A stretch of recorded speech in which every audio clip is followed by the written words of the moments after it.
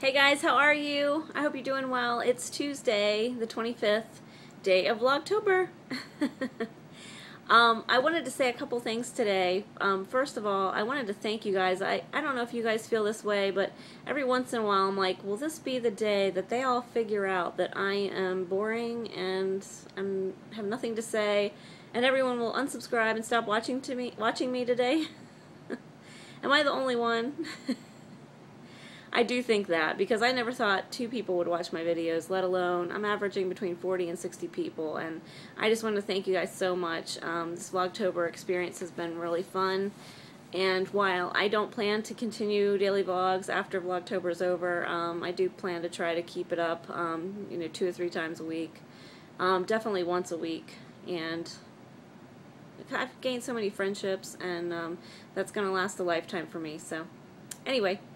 The one thing I wanted to share, I wanted to share um, a channel with you today. I'm not really plugging their channel. I don't think they need me to plug their channel, but I just think this is hysterical. Now, this site is not, this channel is, um, sorry, I got a tickle. It's not for the faint of heart. These guys are drinking and playing board games. So you can either look them up, uh, drunk, Drunken Board Games, and I think their channel name, I think I wrote it down right, Blame Society Films.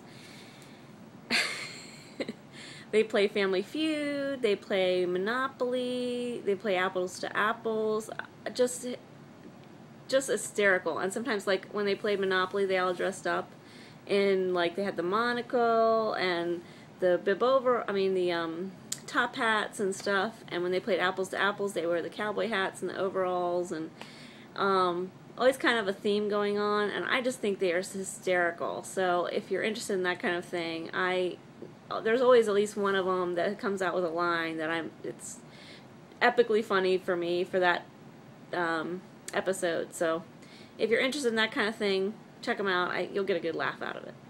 So that's all I had today. I hope you're having a great day. It's beautiful here. It's about 65. Um, the leaves aren't that pretty yet. I'm hoping to get some footage of that before um, my Vlogtober's over. So we'll see. Maybe later this week.